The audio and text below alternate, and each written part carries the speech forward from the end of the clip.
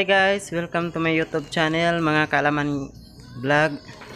So, ngayon guys, so, iano ko na sa inyo, ipapakita ko na sa inyo in actual guys. So, iti iti-try na natin yan. So, bago ang lahat, kung bago pa lang kayo sa channel ko, please huwag kalimutang mag-like, share, and subscribe guys para sa susunod pa nating mga videos. At pakiclick yung all paki-click yung hit button tapos paki-click yung all para maging updated kayo sa mga bago pa nating susunod na mga video at uh, ma-notify kayo. So ngayon guys, i ang una natin gagawin, wala pa kasi yung wiring so tatanggalin muna natin yung head niya ng ating electric motor. So tatanggalin muna natin guys.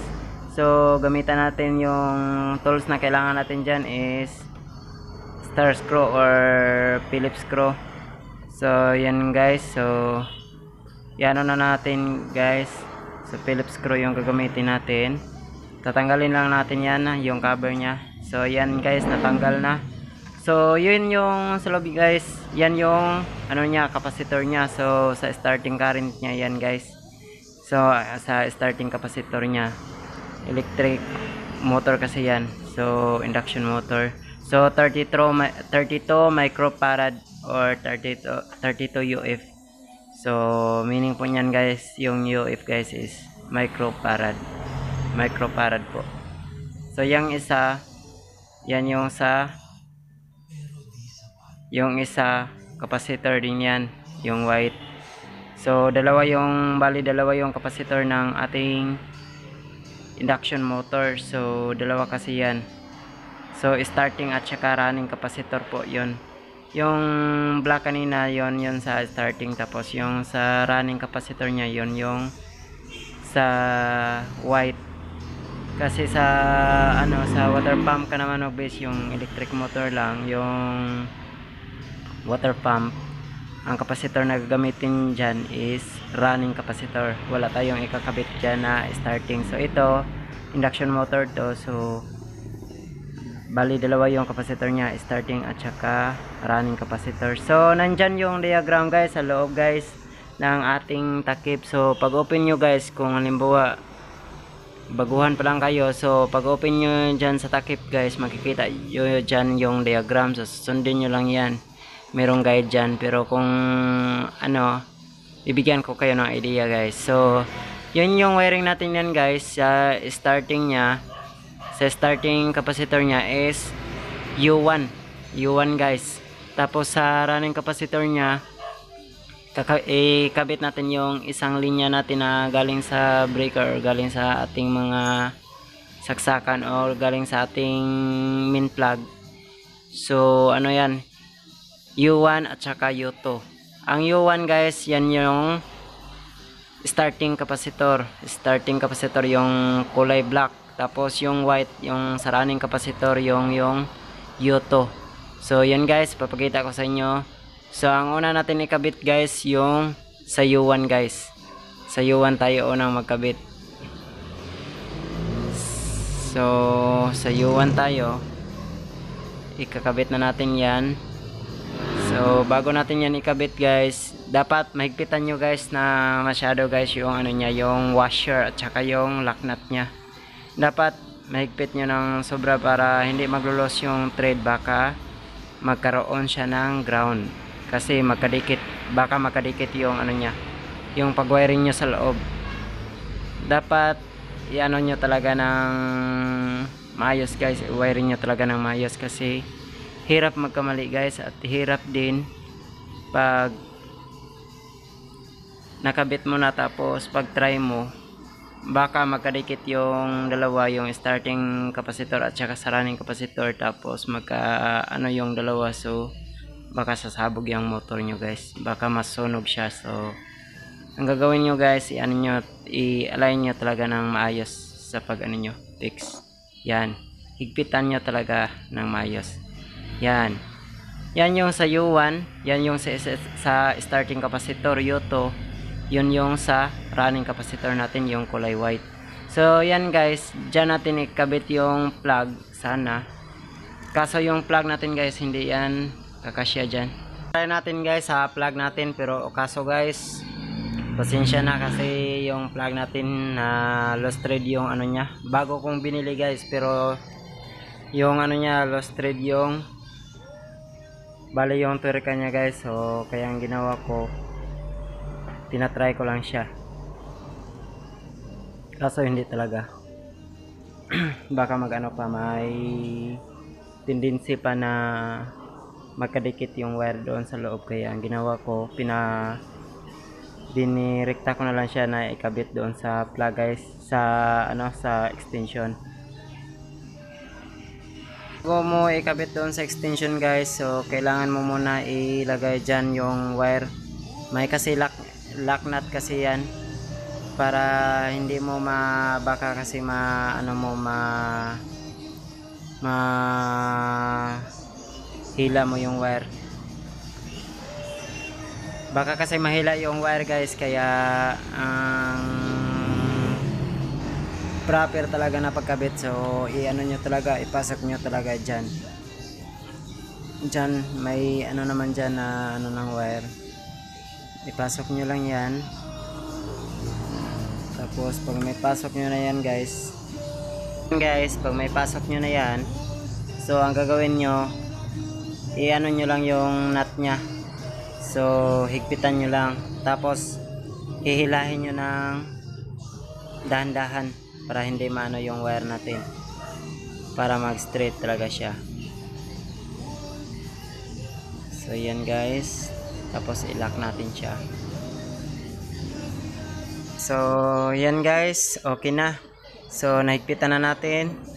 So, ang next na naman natin gagawin guys itatry natin dyan sa plug kaso hindi siya makasya so ipapakita ko na lang yun sa inyo na kinabit ko na doon sa ating extension guys ikabit guys. Bago natin ikabit ititest muna natin yung extension natin kung meron ba tayong source ng kuryente guys. So yan guys. Meron tayong source ng kuryente. Umiilaw yung pin tester natin. So ayan. So itatry na natin. So yan na yan guys. Pina-plug ko lang siya diretso sa ano guys, rekta sa ating extension wire.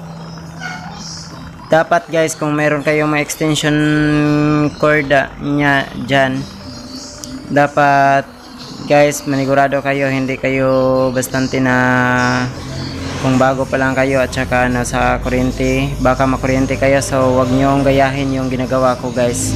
Kasi peligro peligro yan pag hindi pa kayo sanay. So advice ko lang sa inyo dapat may plug kayo dyan. Wag nyong gayahin yung ginagawa ko so ginagawa ko lang yan kasi wala tayong plug. Tapos yan guys. So yan takpan na natin guys. Ayusin muna natin ng mabuti yung ano na niya, wiring niya sa loob. Yung capacitor niya i, i ano natin ng maayos. So yan. Nakaayos ng lahat na takpan na natin so screwin na lang natin yan guys takpan na lang natin ng maayos tapos higpitan natin yung mga screw niya para hindi mabay para pag mag-under siya hindi babibrate yung itaas. So yan guys, yan yung mga nut niya guys. Yan yung mga o-ring niya. Yan yung tinatawag na mga o-ring guys. Ang gamit niyan guys, diyan sa sprayer sa loob talaga ng sprayer guys. So yan guys, tinatry natin. Dapat bago nyo pandarin guys, i-double check nyo muna kung meron ba talaga siyang o-ring sa loob. Yung mga rubber niya kung kumpleto ba siya sa rubber gasket niya sa loob. So yan guys meron naman yan. So yun yun sa ano naman sa ating pressure washer gun. Sa gun naman natin. So tingnan natin yung hose niya. So actually guys yung size ng hose niya guys is 1 4 1 4 yung ano niya size. Yan guys 10 meters po yung haba ng pre natin sa ating uh, new unit. So yun. Ikotin na natin higpitan natin ng maayos. Baka mababasa tayo ma ano tayo ng tubig mamaya. Baka mapaligo tayo ng tubig. So yan guys. Yan yung return valve. So return return valve yan guys. Tapos yung yan return return valve tapos Yan yung mga ori niya sa loob mis- mismo ng ating sprayer, yung kulay green. So, yan yung strainer niya guys. Yan yung sa galing ng drum, suction. Tapos yung yellow guys, balik siya sa drum. So, yan guys. Lagyan lang natin yan ng rubber gasket para hindi maglilik. Yan guys. So, lagyan natin ng rubber gasket sa loob. Lagyan lang natin.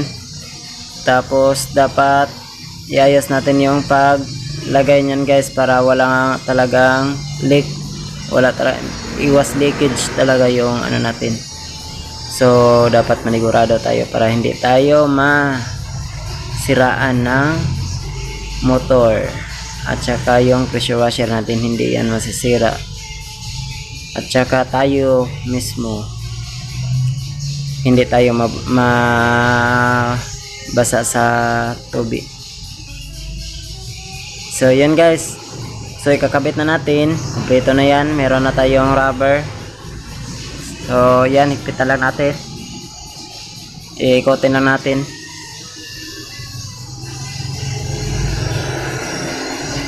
So, yan guys. Naikot na natin guys. So, naigpitan na natin yan guys. Yan na. So, ready ready na siya guys. So, ngayon, dadalhin na natin doon sa labas para ma-try na natin. Bigat-bigat niyan guys. Pero okay lang. Yan. Yan, andyan na siya sa labas. So, iplasta na natin. Iamuntar na natin. Kung ayos yung plastada natin. So, iayos natin pag plastada yung ano natin. Induction motor. Yan. Yung pressure washer natin. So, yan. Nakaplastada na yung pressure washer natin. So, ngayon, kukuha na tayong magic water guys. So, kukuha na tayo tapos ang gagamitin ko na pang ano niya, wala tayong drum kasi pang ano lang to, pang demo lang to. So, baldi yung ginagamitan ko tapos gripo. Yan. Diyan ako kukuha ng tubig guys. So, yan. Pupunuin lang natin guys ng tubig yan. Tapos, dali na, na natin dyan. Yan. So, iano na natin. Una natin ilagay. Yan yung sa suction niya. So, dyan humihigop yung ating power sprayer. Yung kulay green. Na parang may gulong. So, dyan siya kumukuha ng tubig. Siya yung humihigop. Yan. Tapos yung, yung, yellow guys, isabay natin siya dyan sa suction kasi ano yan, ah, return, ba- return valve niya siya. Return niya sa water niya guys para makasave kayo sa tubig kaya may return siya yan pinaplug ko lang guys na walang plug dinadirect ko lang. So wag nyo gayahin yung pagka-plug ko sa extension yan. So itatry na natin guys. Una guys i-open natin yung kukunin muna natin yung gun natin. Yan. So malakas na yung pressure guys. Yan yung parang shower niya guys. Pag in case gusto nyo nang malapit na kayo matapos mag washing tapos yung smooth na lang yung parang shower na siya guys. So yan yung ano niya yun yung gamit niya. So yan. Maanda na siya guys. Gumagana na. So yan guys. I-open muna natin. Pag may leak guys higpitan nyo lang. Kasi kulang, yan, kulang lang yan sa higpit. So, yan guys, ipapakita ko na sa inyo. Yan. Itatry na natin i-open ang ating gun. So, try na natin siya i-adjust. Yan, i-open muna natin. Ibalik natin sa balde yung ano guys, yung tubig niya para hindi masayang. Ibalik natin yung iba. So, yan guys. Ganyan siya kalakas. So, meron siyang adjustment yung parang shower, parang smooth, parang ano, pang finishing na in case mag-shampoo na kayo sa inyong mga motor or sa sasakyan nyo. Tapos meron siyang jet. Yan, jet guys. So, yan yung pinakamasakit guys, yung jet. Mas maganda yan pantanggal ng mga mga dumi na sobrang sobrang ano na sobrang tagal na na, na hindi natatanggal so yan yung gagamitin natin yun yung cheat so yun na guys so I hope na marami kayong natutunan sa sa video na to at Tsaka huwag niyong kalimutang mag-like, share, and subscribe guys sa ating YouTube channel mga Kaalaman Vlogs. Para next natin nga mga video guys. So abangan nyo pa next natin mga video. Meron pa akong maraming video na i-upload dito guys na siguradong may matututunan kayo at siguradong may apply nyo. So thank you, thank you so much guys panonood and God bless.